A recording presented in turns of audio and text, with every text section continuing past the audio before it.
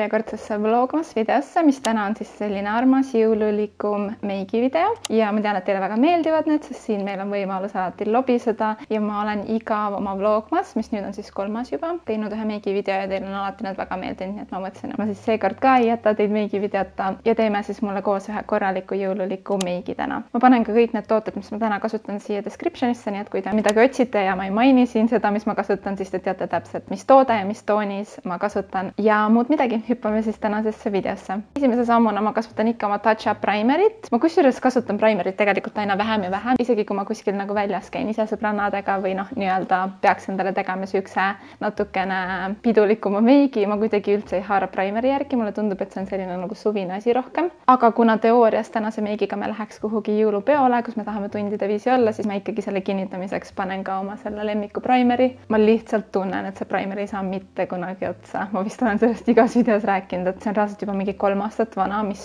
väga ei soovitata tegelikult nii vana meiki kasutada. ja nüüd on mul juba see nagu põhi siin nähtav, aga samas ma olen ülikaugel sellest, et see täiesti otsa saaks, nii et mul veits on juba nagu koll ees. Aga iseenesest ülihea toode, täiega sihuke plurriv primer ja suvel ma näiteks tunnen, et ta hoiab kauem mu jumestuskreemi paigal ka, nii et see oli siis meie esimene samm. teiseks ma kasutan Essence'i niisugust kookosõliga lip boosterit, mis on selline huulepalsam, lihtsalt kuna ma tunnen praegu talvisel ajal, et mul on huuled nii kuivad, et kui ma iga päev ei pane huulepalsamit, siis nad hakkavad isegi lõhenema ja temperatuurid ei ole isegi nii madalad, nii et ma ei saa aru, kas mina olen lihtsalt mingi dust'i täiega või mis toimub. aga mul on see igapäevases meigikotis, see kookosõliga huulepalsam ja ma tunnen, et see täiega niisutab ja niisugune nagu mõnus palsam on see. osad huulepalsamid nagu imbuvad sisse, aga samas nad ei niisuta ja sellega ma tunnen et ei ole üldse seda probleemi, nii et ma olen hull-hull fänn sellel ja see maksab ainult paar euri kuskil Selverites ja asjades. olen ma proovinud, mis ma olen proovinud igasuguseid erinevaid jumestuskreeme siin aastatega, aga ikkagi mu lemmik on see Wunder kaks Last Dance Foundation, see Wunder kahe kehapaa jumestuskreem. ta lihtsalt katab nagu kõik ebaühtlused ja asjad ära su nahal ja ma tunnen alati, et kui ma filmingi mingeid videoid või ma tahan kuidagi nagu ilusam olla, mingeid koostööpilte teen või üldse käin kuskil üritustel, siis ma alati kuidagi haaran põhiliselt selle järgi ja minul on too toon kolmkümmend, neil on ülivähe toone, aga minul see kolmkümmend nagu mega hästi sobib, nii et ma täna panen seda ka ja Real Techniques'i jumestuspintsel. aga ma tahtsingi teiega istuda maha ka, uurida, kuidas teil on läinud siin pühade perioodil. ma tunnen, et sellest ajast, kui mu sünna oli ära, on lihtsalt aeg nagu täiesti lennanud. kuidagi seda talvist jõuluperioodi on nii vähe olnud ja varsti ongi juba jõulud käes. iga-aastase nagu jõulude nautimise periood läheb minu jaoks lühemaks, mul on niisugune tunne, millest on ülikahju, aga seda enam ma üritan ise endale tekitada hästi palju jõulutunnet tunnet ja ma hakkasingi mõtlema näiteks inimeste peale, kes näiteks panevad kaunistused üles alles detsembri mingi teisel poolel või midagi, et kas teid nagu ei huvita see, et te saate jõule nautida nii vähe aega. muidugi ma tean, et kõik ei ole siuksed jõulufännid nagu mina, that's okei okay., aga jah, ma nagu paaniliselt juba pelgan seda aega, kui jõulud on läbi ja lihtsalt on see pimedus meid ees vaatamas ja üldse selle Covidiga ma tunnen ka, et nagu nii vähe on jõulupidusid olnud, siukseid näiteks tööjõulupidu meil jäi ära, meil pidi olema Tallinna kesklinnas mingis ägedas rendikohas sihuke suur ruum, meil oli mingi full bänd, siis see Elamuspank vist on niisugune firma, nad teevad igasuguseid lahedaid nagu mänge firmaüritustel. Ja nad tegid meil suvepäevi ka, mis oli mega lahe ja siis ma kuidagi nii ootasin seda, sest see tööjõulupidu, ma usun, et paljude meie jaoks on üks niisugune nagu kõige glämmim üritus aastas on ju, see on nagu see kõige suurem pidu ja sa alati mingi käid meigis ja paned oma kõige ilusama kleidi selga ja nii edasi, et alati, kui nagu niisugused asjad jäävad ära, siis on kuidagi seda nagu jõuluperioodi nautimist palju raskem teha või palju raskem ennast lainele saada, et ma ei tea, kas te tunnete ka see aasta seda nii ma ütlen ruttu, et ma panen L'Oreali Infallible More Than Concealer peitekreemi ja see on üks nagu parimaid peitekreeme. ma ütleks, et see on Tarte Shape Tape'ile isegi dupe, mis mul on ka kodus olemas, aga ma ei taha seda nii palju raisata, et siis see L'Oreali oma, mis on palju kättesaadavam, ma olen seda alati pannud, kui mul on vaja sellist tugevamat meiki. üldse nüüd ma mõtlengi aastavahetusega, et ma ei tea, mis saab ja siuksed nagu suured peod kuidagi haihtuvad meie elust. eelmine aasta ma olin üldse mäletate karantiinis, sest meil oli töö juures keegi Covid positiivne ja ma olin lähikontakt ja siis olid veel need reeglid, et kui sa isegi kokku puutusid natukene, siis sa pidid olema kümme päeva kodus ja noh, thank god, et mul see tollane karantiin sai täpselt enne jõule läbi. kindlasti oli eelmine aasta ka siukseid inimesi hästi palju, kes oma jõulud reaalselt nagu veetsidki karantiinis on ju, ei saanud oma perega kokku saada, et see on ikka väga jube. ja muidugi see aasta ka ma ei taha väga Covidist siin kanalil rääkida, aga kindlasti on inimesi, kes ongi päriselt nakatunud ja nad ei saa minna ja väga-väga rasked nagu ajad on praegu, et seda enam ma loodan, et need minu nagu siuksed easy going mingid retseptivideod ja väiksed vlogikesed, kus ma üritan väga vähe neid teemasid puudutada, et ma loodan, et need natukene nagu annavad mingit väljapääsu teile, kui te neid vaatate ja te ei pea mõtlema selle peale, mis nii väga nagu maailmas toimub suures plaanis. aga vaadake lihtsalt, kui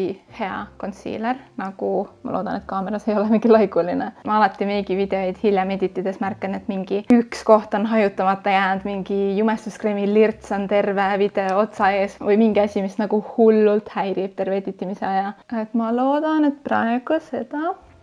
ei ole, ma veel Beauty Blenderiga nagu tupsutan kõik üle, et ei jääks pintsli hajutamiskohti, aga ma täiega julgen soovitada, sest ma olen seda nüüd ikkagi üle aasta kasutanud, see Real Techniques'i jumestuskreemi pintsel number kakssada, ümarate liigutustega, see on lihtsalt nii mugav abimees ja sa ei pea oma käsi määrima jumestuskreemiga üldse kokku. Ja hiljem natukene vatiga üle tupsutada, aga ta kuidagi hajutab jumestuskreemi hästi lihtsalt. Minu arust, et täiega hea jõulukingi idee, kui teil on veel vaja viimase minuti ideid kellelegi. Sa mingi kolistad seal taga? Ma sain aru jah. siis jälle ka kahvelinuga järgmine samm võib olla veits üllatav, kui te olete vaadanud mu neid kõiki meigivideoid, siis mingis meigivideos mul kunagi oli Laura Mercier Translucent kinnituspuuder ja mulle üldse ei meeldinud see. siis ma vahepeal ostsin mingi Huda oma, mis oli sihuke okei okay,, aga lõpuks mul see kuidagi pakend hakkas pinda käima, et sealt oli üliraske saada kätte neid viimaseid mingeid kübemeid ja mulle ei meeldi üldse see, mulle meeldivad siuksed pakendid, kus ma saan kõik kätte, onju. ja mu üks lemmikuid viimasel ajal on Wonderi oma, aga ta ei ole kõige soodsam, ehk siis ma ei raatsi teda nagu igapäevaselt kasutada, ta on lausa minu arust nelikümmend eurot, kui ma ei eksi. Ja siis ma ikkagi lõpuks tellisin uue Laura Mercier. sellel hetkel, kui ma ta tellisin, ta oli Cult Beauty's mingi alla kolmekümne euro kindlasti, kakskümmend viis äkki soodukaga, nii et sellepärast ma mõtlesin, et okei okay,, ma proovin teda uuesti, ta on mingi kõigil ülilemmik ja ma Beauty Blenderiga siis kinnitan oma selle kogu näo põhimõtteliselt ära. ja ta ei meeldinud mulle kunagi, sest mulle tundus, et ta võtab pigem nagu, kuidas öelda, et ta ei kinnita, vaid ta võtab selle toote kaasa endaga. ehk siis mulle kunagi nagu ei meeldinud ta ja nüüd ma olen tegelikult teda mingi kuu aega kuskil juba kasutanud ja ma ei oska veel öelda, kas mulle meeldib meeldib või I don't know. aga kuna mul on see aasta juba kolmas Vlogmas, siis ma täiega vaatasin nagu minevikus tagasi neid videoid, mis ma olen siiani teinud. eelmine aasta mul oli hästi palju kolläebe, aga ma mäletan, et see oli ka veits stressirohke, et aegasid saada klappida ja üldse Covidiga natukene nagu muretsesin, et kas kokkusaamine oli mõistlik ja nii edasi, et õnneks kõik läks eelmine aasta ikkagi hästi, aga ma mõtlesin, et see aasta ma proovin nagu vähem mingeid kolläebe teha ja rohkem siukseid ise videoid mõelda. Ja lihtsalt tagasi vaadates ma lihtsalt sattusin oma kahe aasta vanuse video peale, kus mul olin hullult nagu masekas, ma mäletan, et ma tegin seda Vlogmassi ja ma ei tea, üldse tegelikult Vlogmassi tegemine on väga stressirohke, et see aasta ma tunnen, et ma olen palju rohkem graafikus, ma juba novembri viimane nädal hakkasin filmima full tempos, et siis detsember oleks natukene kergem mul, nii et ma tunnen, et ma ei pea iga nädal tegema kolm videot, sest mul on igaks nädalaks üks video juba ette tehtud, et ma üritasin niisugust graafikut hoida. aga jah, sellel hetkel ma tegin kaks videot nädalas, mis oli minu kui algaja Youtuberi kohta päris selline suur väljakutse juba sellel hetkel ja mul oli hull nagu kuidagi see võrdluspunkt ka, kus ma kogu aeg võrdlesin ennast teiste Youtube eritega. ma tundsin nagu, et mu kanal ei kasva üldse ja ma tundsin, et ma ei tea kuidagi, et niisugune vahepeal on niisugune nagu enesehaletsusperiood, ma mäletan täiega hästi. Ja hästi hullult ma stressasin oma vanuse pärast, üldse ma ei saa aru, miks ma nii palju olen oma elus oma vanuse pärast stressanud, eriti viimased aastad, sest nüüd, kui ma lõpuks kolmkümmend sain, ma tunnen nagu mingi kivi on mu õlgadelt nagu langenud, et ma enam ei tunne, et ma mingi olen liiga vana, et Youtube'i teha või nagu siuksed mõtted käisid kogu aeg peast läbi, sest et ma tunnengi, et mu publik on ka ju kasvanud ja vananenud, me kõik hakkasime kunagi kümme aastat tagasi Youtube'i vaatama ja siis ma olin noor ja see tundus niisugune noorem platvorm, aga sisuloojate vanus, ma arvan, ongi kasvanud tänapäeval ja iseenesest ma olen nii tänulik, et ma mingi, ma ei tea, üheksateistaastasena ei teinud endale Youtube'i, sest et ma ei tea, mis skandaalid ma oleks ilmselt kokku tõmmanud või mis lolli juttu ma oleks rääkinud. hiljem täiega cringe inud ja piinlikkusest maa alla vajunud, et ma ei tea, nii et ma tunnen, et selle aasta Vlogmassil ma olen kõige õnnelikum, mis ma olen olnud viimase kolme aasta jooksul, et mul on südames nagu niisugune rohkem rahu ja ma olen paremini ette valmistanud ja et seda oli hästi tore nagu avastada siin üks päev. Mesauda põsepuna on mul ikka üks, ma põsepuna nüüd panen ainult siia üles viimasel ajal, ma enam siia nagu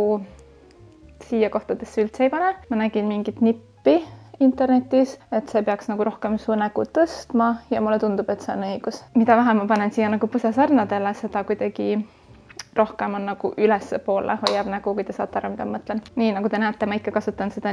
The Brow Glue kulmukeeli. Don't comfort me, mulle ikka meeldib see, ma olen ikka väga õnnelik, aga üks asi, mis ma olen täiega muutnud viimasel ajal ja mis mulle ka jõulumeigi osas meeldib, on see, et ma enam musta silmalainerit ei kasuta või kasutan üliharva ja mulle meeldib pruun silmapliiats, mul on NYX-i pruun silmapliiats ja ma lihtsalt tõmban täiesti tuimalt kuhugi siia äärde tumeda triipsu, lihtsalt kuidagi, et oleks nagu näha, et ma olen midagi tõmmanud ja siis pintsliga ma hakkan hajutama siit ja ma üritan hoida seda tumedust siin rohkem nurga pool, et mingit muud sellist nippi või meetodit mul ei ole kahjuks teile anda, aga mulle tundub, et mida rohkem nagu hajutada, seda ilusamaks ta kuidagi läheb ja ta annabki selle natukene smoky cat eye look'i, aga ta ei ole nii tugev ja kuidagi järsk nagu tavaline vedelmust silmalainer. mulle lihtsalt tundub, et ta annab rohkem sellise naiseliku sensuaalsema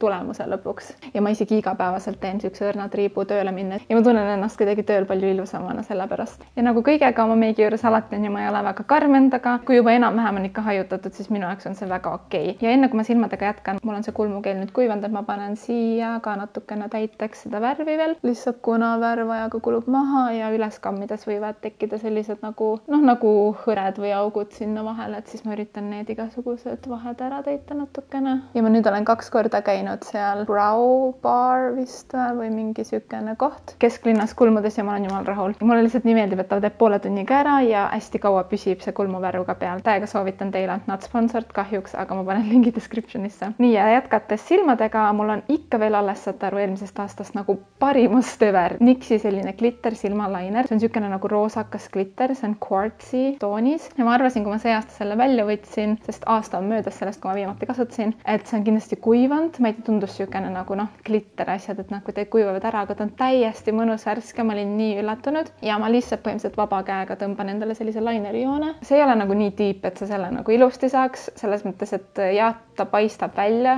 glitter, aga teisest küljest ta ei ole nagu must silmalainer, et sa ikkagi nagu, kuidas öelda, ta on rohkem andestatav, et ta on selline heledam ja paistab läbi, aga ta annab su silmale sellist sära juurde ja muud ma tegelikult silma nii-öelda lau peal ei teegi, ma mängin natukene veel ripsmetega, et üritan ripsmed muuta sügavamaks, pikemaks, paksemaks, aga see nagu laug ise ongi niisugune smoky ja pehme pisikese säraga, mulle tundub, et jõuludeks on niisugune armas ja ideaalne, et see ei ole liiga üle võlli, aga samas lõpus me näeme, ma teen punase huule, nii et natuke over the top olen ma ikkagi alati, aga ma olen siin nüüd mõned nädalad katsetanud Wunder kahe ripsmeduši, mis on niisugune pikendav ripsmedušš. ma sain selle mingis promopakis, ma näitasin teile ka ühes vlogis. Ja ta on okei. Okay., ma ei tunne, et on nüüd nagu maailma parim ripsmedušš, ma ei tea, et selle Essence'iga mäletate, ma olin täiesti nagu mind blown, aga keegi üks vaatajatest veel tõi sellega välja, et Essence'i ripsmedušš muudab ripsmed hästi pikaks, aga päevapeale ta nagu kulmude alla jätab väiksed täpid. Ja ma olen ka seda märganud. Ja sellepärast ma mõtlesin, et ma proovin ka mõningaid muid, et mul on vanemaks saamisega näonahk läinud hästi rasvuseks ja just kulmu alt päeva lõpuks on ka siuksed nagu pigem selline nagu õline. Ja kui ripsmed nagu puudutavad seda kulmualust kohta, siis ta suht tihti ikkagi määris mul see essence lõpus ka, nii et noh, kolmeeurine ripsmedus, ta ei saa kõike teha, ta hullult hea tulemuse jättis minu arust, aga jah, ta ei ole ilmselt siis nagu kõiges nii hea. nii ma panen ka mõned ripsmetutikud endale, nagu ma ütlesin, ma tahaks natukene ripsmetega mängida, et ripsmed oleks siuksed paksemad ja sügavamad. Ja mul on mingid Andrea ripsmetutikud Treidhouse'is, need on lihtsalt nii mõnusad, siuksed nagu kohevamad kuidagi kui tavatutikud. mulle hullult meeldivad need ja ma üritan neid hästi mitu korda kasutada ka, et ma võtan need õhtul ära ja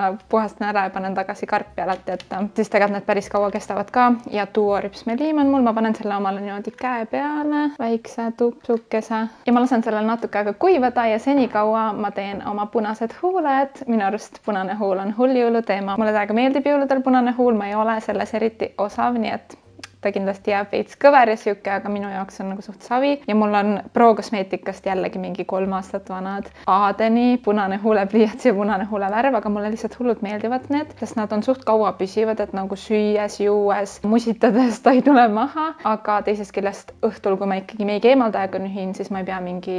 huuli maha nühkima, et selles mõttes nagu õigete vahenditega ta tuleb maha, if you know what I mean, aga samas ta on niisugune kauapüsiv ja ma teen selle pliiatsiga, üritan vähemalt teha endale siis huule piirjoone, täidan täidan huuled ära ja siis huulevärviga teen ülejäänud. ja ma tahaks teilt ka teada, et kas te kannate punast huulepulka, kas te kannate seda aastaringselt või ka pigem jõuludel, kuidas teile tundub, sest mul on see alati olemas, ma ei viska seda ära, ma kasutan seda kindlasti, aga ainult detsembris ma ei tea, ma olen niisugune omamoodi inimene. Noh. üks moodus, kuidas saaks seda korrektsemalt teha, oleks hiljem mingi selle peitekreemiga näiteks ääred teha ilusti korrektseks, aga ma ei tea, see huulepliiats on nii kreemis ja sihuke, et äh, paratamatult minu arust ei jää nii nagu krõbedad ääred, nagu võib-olla võiks, aga nagu ma ütlesin, ma ei tea, ma ei ole nagu perfektsionist. eile Sass ka vaatas mu neid huuli ja ütles, et mingi äh, sul on ühel pool ühtemoodi ja teisel pool teistmoodi huul. ma mingi äh,, ma ei teadnud, et ma olen Netflixi Glow Up saates on ju. vabandust ja tänan kriitika eest, aga mul on nagu suht suva selles mõttes, kui just mingi väga lappes ei ole, on ju aga kui on enam-vähem kaugelt paistab, et on ilus, siis on okei okay.. nii, ja ma jätangi nii,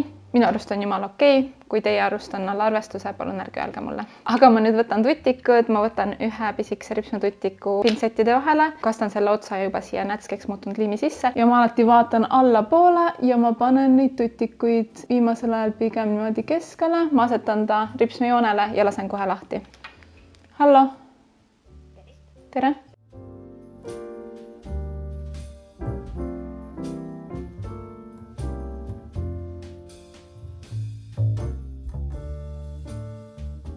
nii nagu te näete, kohe silmad on sellised sügavamad, mulle lihtsalt meeldivad need ripsnututikad, et neid on lihtsam paigaldada ja nad on jällegi natukene tagasihoidlikumad, aga ikkagi lisavad mingit mfi, on ju, meie jõululikule lookile. nii, aga basically me olemegi selle pisikese Get ready with me videoga valmis saanud. ma loodan, et teile meeldis niisugune väikene koos valmistumine ja niisugune ilus jõululik, samas mitte liiga üle võlli meik minu arust vähemalt ma ei tea, kellega arust on rootsed üle võlli, aga jah, mul on siin Vlogmassi ajal ka muidugi iga nädal vlogid, nii et vaadake neid ka, siis te näete seal ka, et mis mu elus kõik toimub, et sellepärast mul ilmselt see aasta siin meigi videos polnud mingeid pommuudiseid teile öelda, sest et kõik asjad, mis toimuvad ja mu mõtted on alati vlogides ka edasi antud. nii et jah, ma loodan, et need ka teile meeldivad ja kui sulle meeldis see video, siis kindlasti palun vajuta like, kui sa ei telli minu kanalit, palun vajuta telli või subscribe ja mina näen teid juba oma järgmises Vlogmas videos. tšau.